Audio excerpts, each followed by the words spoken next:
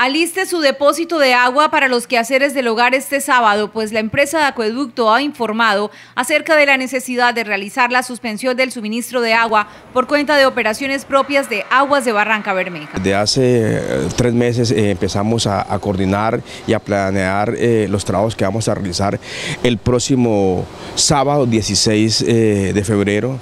que consiste básicamente en, en actividades de mantenimiento, mantenimiento que,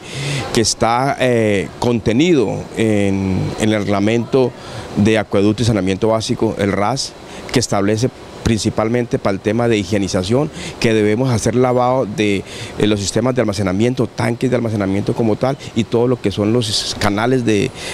transporte y distribución del agua internamente, eh, y nos obliga a que debemos hacer un lavado por lo menos dos veces por año. Desde tempranas horas, Barranca Bermeja no contará con el servicio de agua este sábado 16 de febrero, por lo que la empresa entrega recomendaciones frente a la medida. Una vez que decidimos hacer esta parada, eh, activamos eh, el Comité Municipal de Gestión del Riesgo y Desastres y con ellos obviamente tenemos priorizadas eh, las entidades que son de, de, alta vulnerabilidad. Ya tenemos establecido ese plan de contingencia para que en caso de que se requiera le podamos suministrar el recurso a estas entidades principalmente y obviamente otras que lo requieran. Recuerde que la suspensión será entre 5 de la mañana y 5 de la tarde, para lo cual recomiendan solo recolectar el agua necesaria para hogares y empresas en Barranca Bermeja.